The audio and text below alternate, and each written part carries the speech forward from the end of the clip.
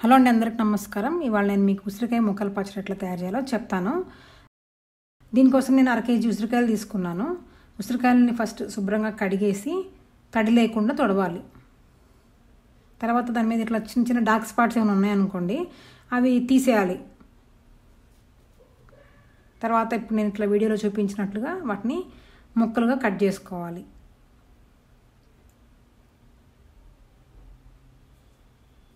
ఇలా గింజ గింజలన్నీ తీసేయాలి.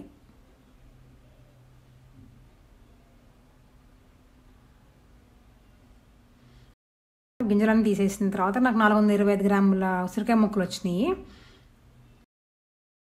తర్వాత ఒక ప్యాన్లో పావు లీటర్ నూనె తీసుకోవాలి. నేను ఆలివ్ ఆయిల్ తీసుకున్నాను. మీరు పల్లి నూనె కూడా తీసుకోవచ్చు. యాక్చువల్గా ఆలివ్ ఆయిల్ కన్నా కూడా పల్లి నూనె బాగుంటుంది టేస్ట్. నూనె కొద్దిగా వేడెక్కిన తర్వాత దాంట్లో ఈ కట్ చేసి పెట్టుకున్న ఉసిరికాయ ముక్కలు వేసేయాలి.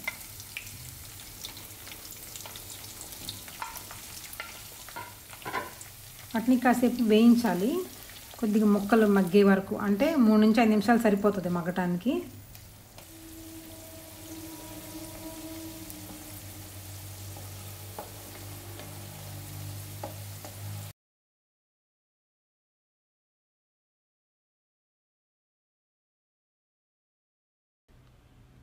ఏదైనా ఒక ఒక ముక్క తీసుకొని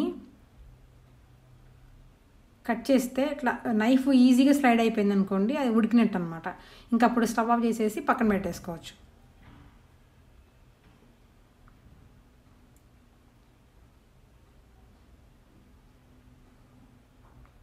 తర్వాత నేను ముందుగా వేయించి పెట్టుకున్న మెంతులు ఒక టీ స్పూన్ తీసుకున్నాను. ఆవాలేమో ఒక టేబుల్ స్పూన్ తీసుకోవాలి. ఇది వేయించింది కాదు. ఈ రెండు కలిపి పౌడర్ చేసుకోవాలి. తర్వాత వెల్లుల్లిపాయలు డెబ్బై నుంచి డెబ్బై గ్రాములు తీసుకొని అది కూడా పేస్ట్ చేసి పక్కన పెట్టుకోవాలి.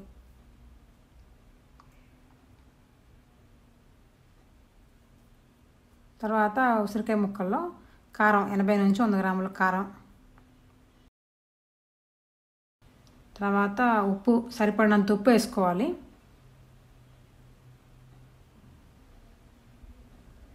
పసుపు కూడా ఒక టేబుల్ స్పూను వేసుకోవాలి.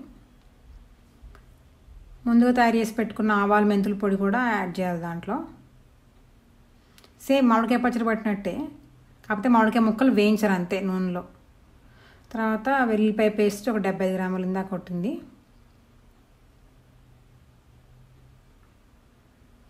బాగా మిక్స్ చేయాలి.